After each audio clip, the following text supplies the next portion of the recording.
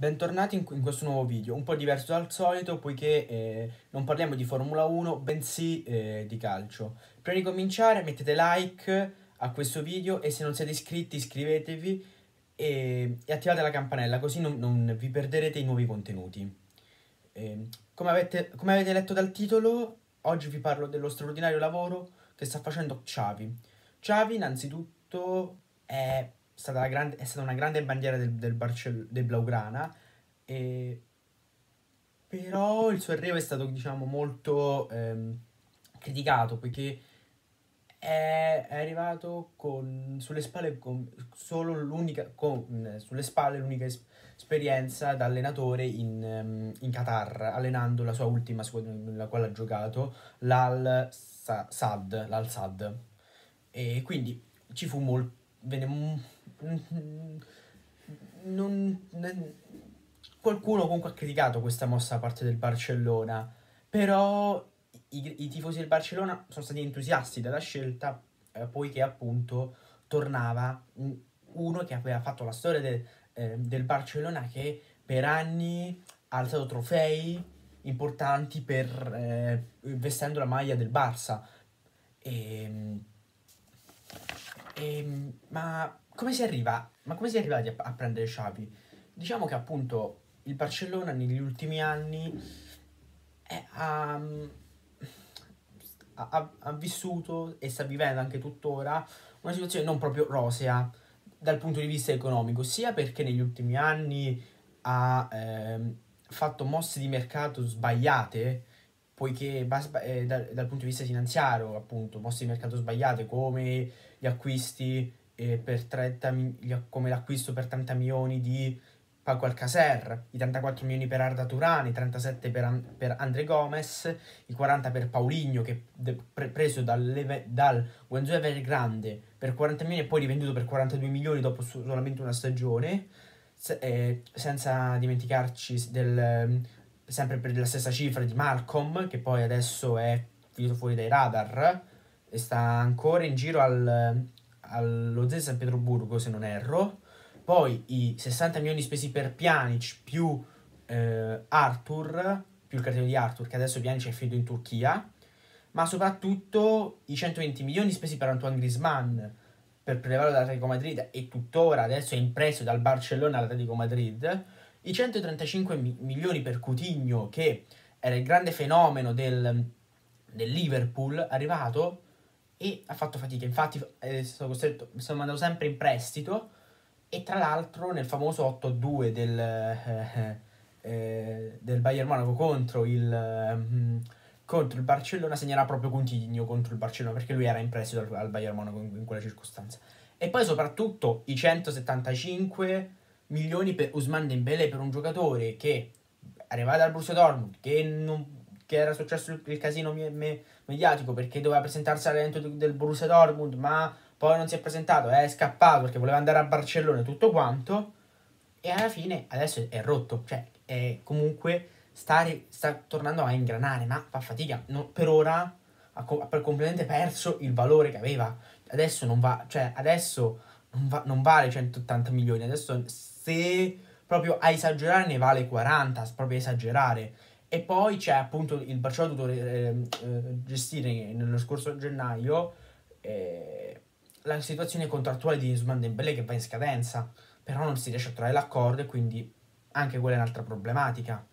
Ma a incrementare questa eh, situazione, diciamo appunto di ehm, crisi finanziaria, problemi, eh, mosse sbagliate di calciomercato, quindi dal punto di vista finanziario, è stato l'impatto del, della pandemia, del, COVID, del Covid-19, poiché appunto, ehm, poiché appunto tutti i club hanno, hanno eh, subito grandi, gravi perdite, ma il Barcellona, sommando le gravi perdite e le mosse di calciomercato sbagliate, si è arrivati alla, alla tragica, eh, al, alla, al, a svendere giocatori come Luis Suarez, che era un pilastro della... Il, il, era uno dei tre della MSN, che era eh, Messi, Suarez, Neymar. Neymar se n'è andato al PSG, Suarez adesso sta all'Atletico, eppure Messi adesso se n'è andato. E Messi la scorsa sera se n'è andato, come ben sappiamo, se n'è andato al PSG, poiché in, per, dal punto di vista contrattuale non, il Barcellona non, non poteva, eh, per, non poteva permettersi ingaggio di Messi,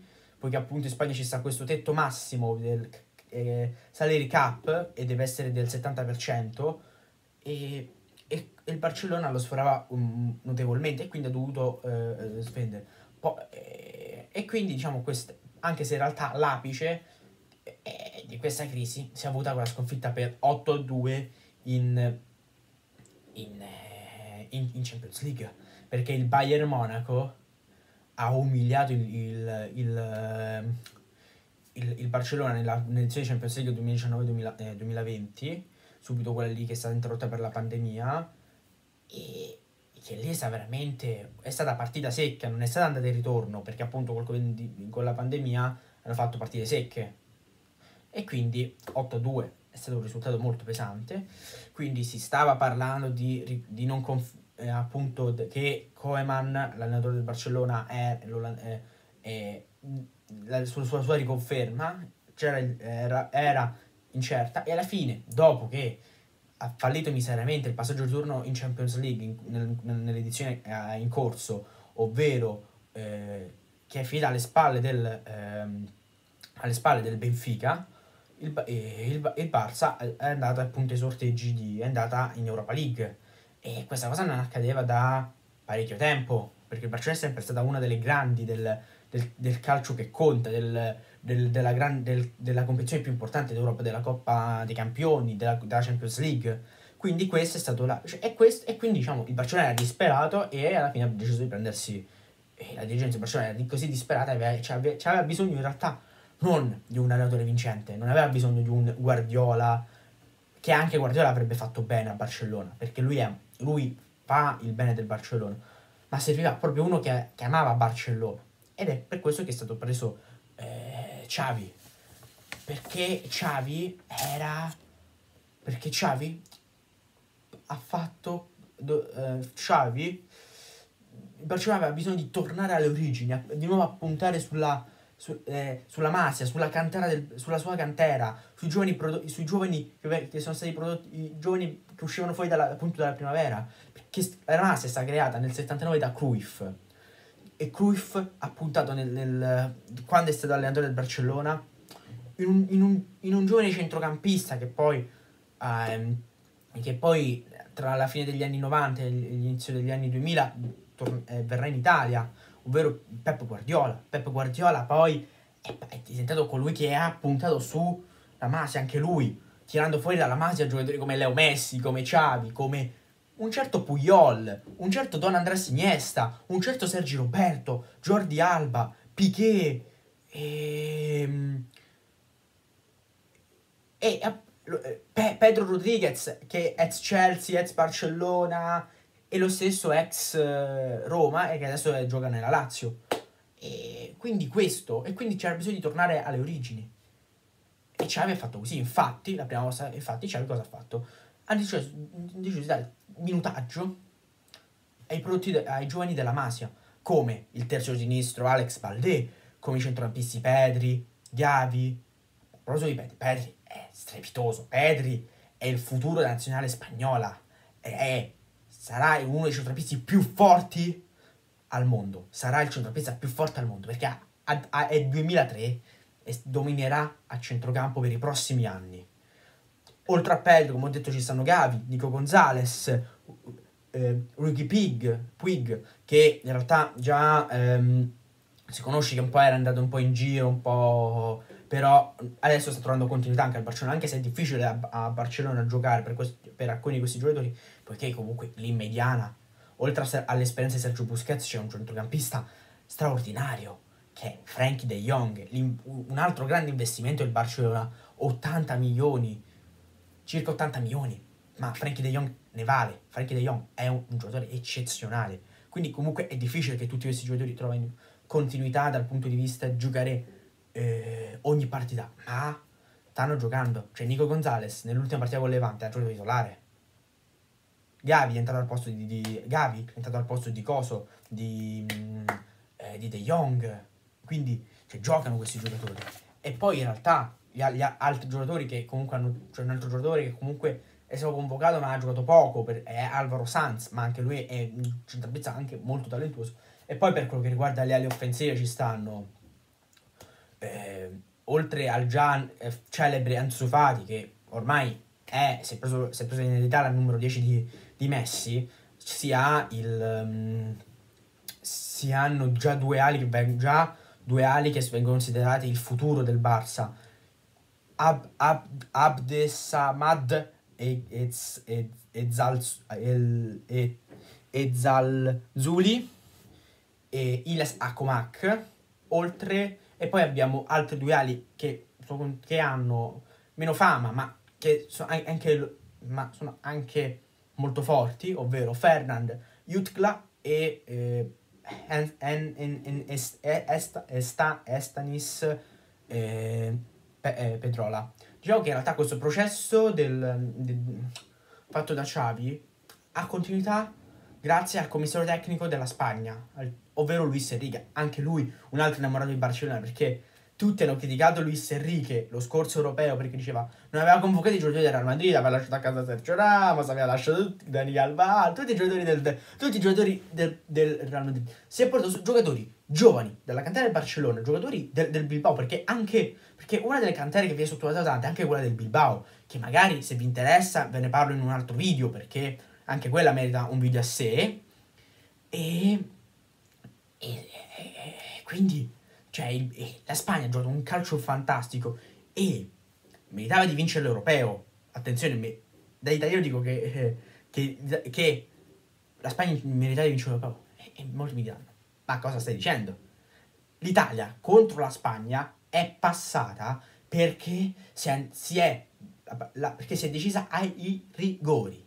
Perché la Spagna per 120 minuti ha dominato l'Italia e ha giocato a calcio, ha giocato a calcio, cioè hanno fatto un calcio spumeggiante, Pedri, eh, Pedri, cioè Pedri, bisogna inchinarsi a un giocatore come Pedri, Pedri è un fenomeno. E, e quindi anche questo ha aiutato molto Xavi.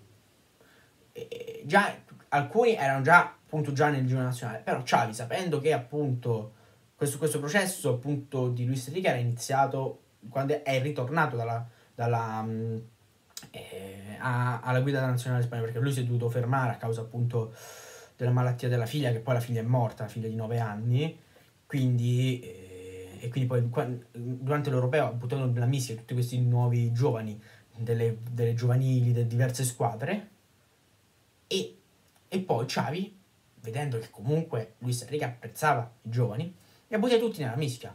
Poi è ovvio, è ovvio che magari um, tutti questi giovani poi diventano fenomeni. Però già il fatto che tu hai, in, cioè il Barcellona c'ha a centralfo Gavi che eh, Pedri che è 2003, Gavi che è eh, 2004, Nico Gonzalez che pure lui è 2003-2004. Cioè, nel senso, significa che c'hanno un centrocampo garantito per i prossimi dieci anni. Cioè, è questa la questione. Però, tornando a, il Barcellona di Xavi, cioè quindi tornando in notte, Bar- quando è arrivato Xavi, il Barcellona faceva fatica a ingranare, perché era un, perché non ha, la, quella squadra era costruita, eh, era stata una, una squadra eh, costruita senza un metodo.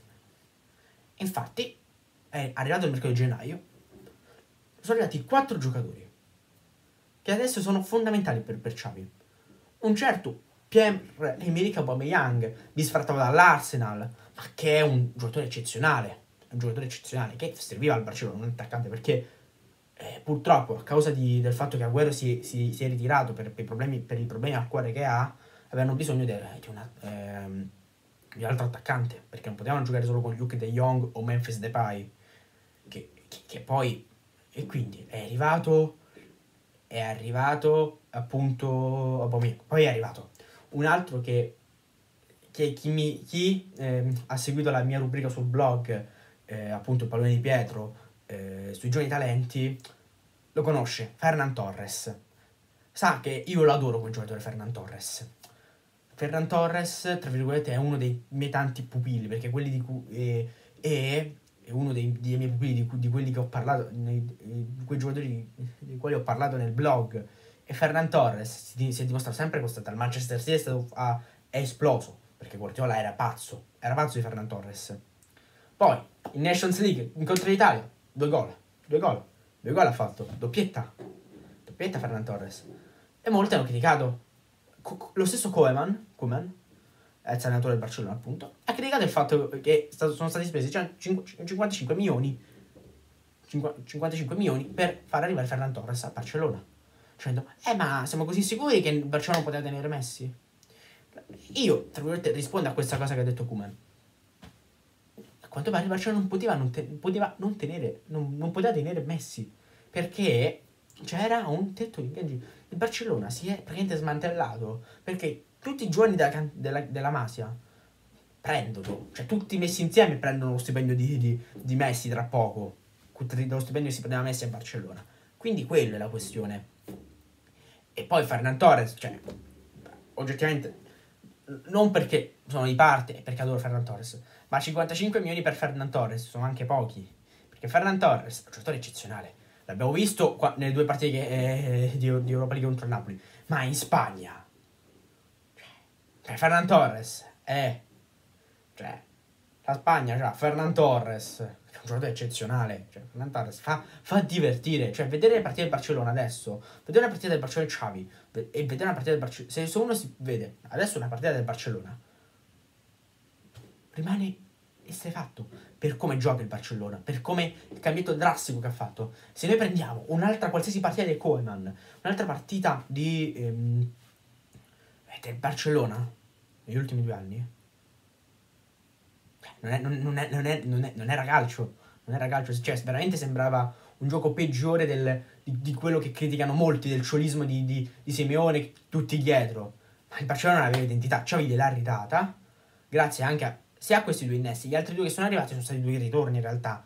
Adama Traoré che era cresciuto nelle giovanili del, del, del Barcellona, anche lui è un fenomeno che corre, corre, corre, corre, che non si ferma, cioè per fermarlo gli devi sparare, cioè nel senso eh, cioè, devi fare per forza fallo. Cioè, devi fare fallo per fermarlo. Perché non lo riesce a fermare Adama Traoré.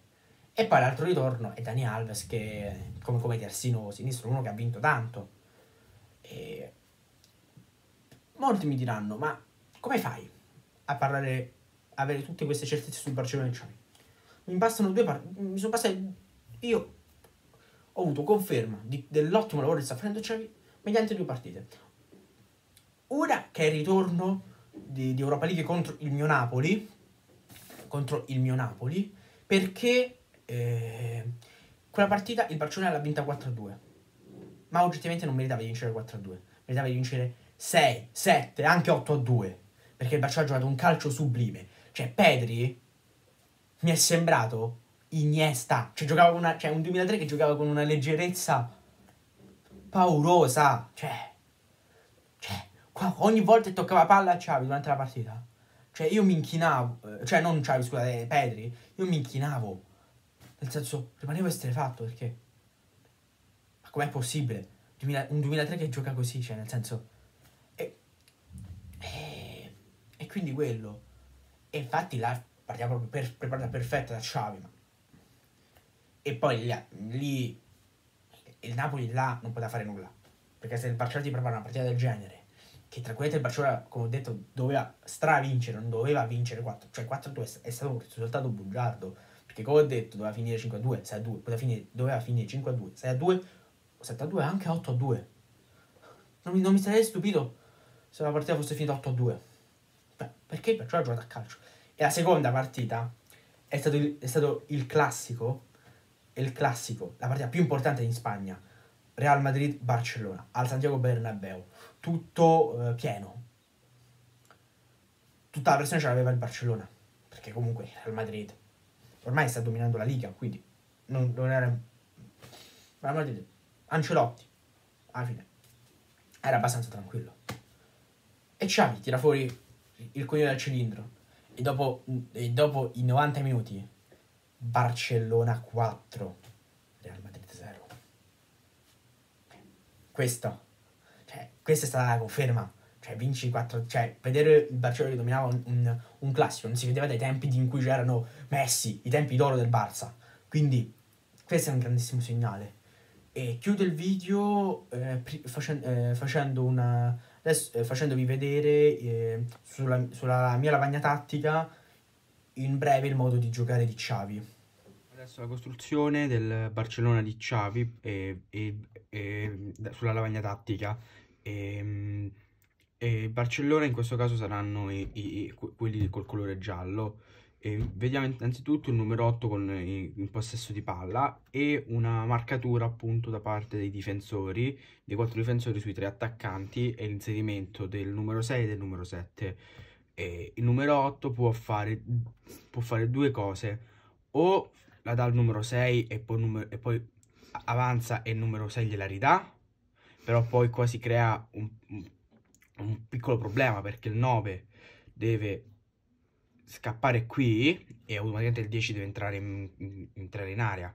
Quindi fa così, eh, co, eh, il, terzino lo va a marcare, si inserisce il 10, palla arretrata per il 10, nel frattempo si sono inseriti il 6, l'11, cioè, il, il 7 si allarga, nel frattempo potrebbero sali, salire i terzini anche se sono costretti a, a, a rimanere dietro poiché appunto ci sono il 9 e l'11 avversario quindi sono costretti a rimanere dietro e il, e il centravanti avversario che è tra i due centrali.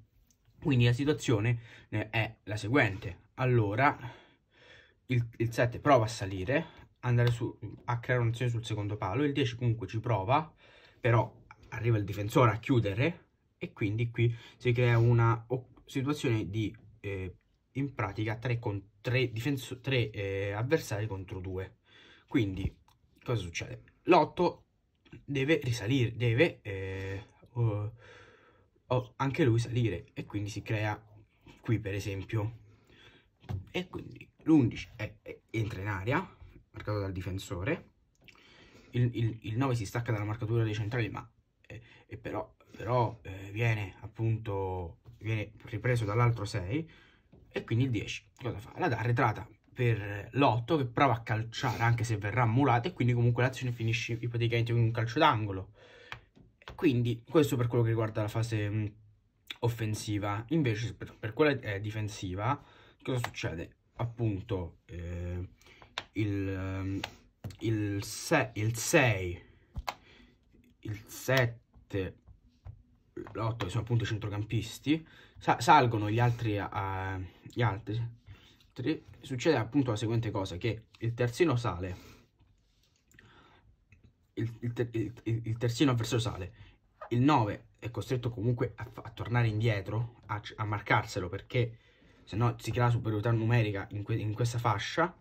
E quindi qui cosa succede? Il 7 e l'8 ci sono, i due, i, ci sono i, i, i tre centrali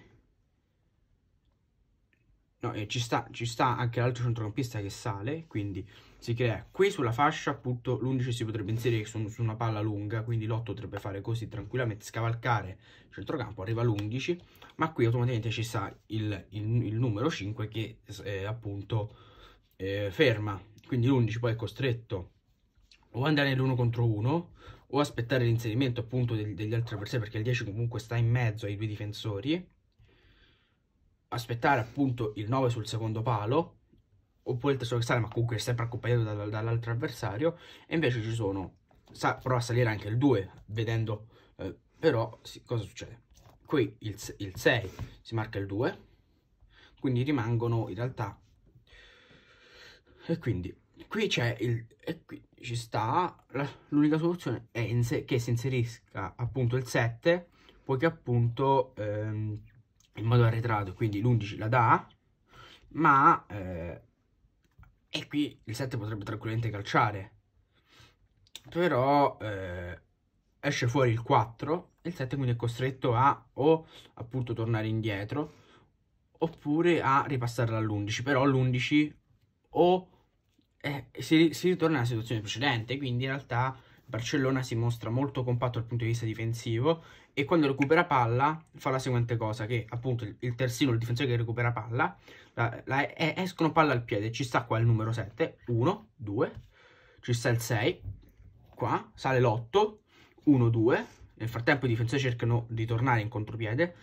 l'11 a campo aperto contro il 3, è un 2 contro 2, l'11 la mette in mezzo, per, eh, magari deviata il numero 3, e il 10 la butta dentro.